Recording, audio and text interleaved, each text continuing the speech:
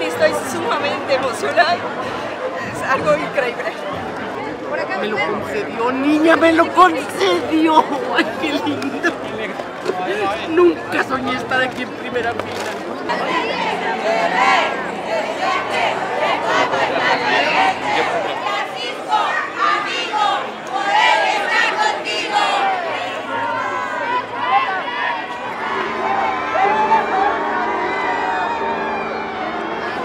Aunque sea por un ratito, pero valió la pena.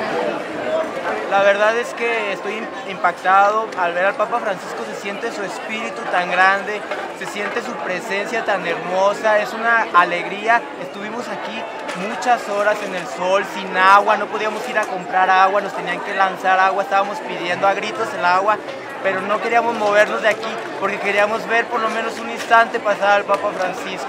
¿Siente un antes y un después de la visita del Papa en Claro, Michoacán? claro, hay una- un fortalecimiento, una fuerza que tenemos que, que agarrarla y echarle ganas. de mucha euforia, de verdad que rebasa lo que te puedes imaginar, porque después de 30 horas de estar este, en el sol, sin comer, sin agua, de verdad que te, da- te quedas con la sensación de que es un placer, es un placer y la pena, la verdad.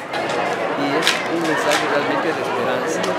Él yo creo que tiene mucha confianza en, en México y sus palabras de líder de, de la Iglesia Católica no creo que caigan en tierra estéril.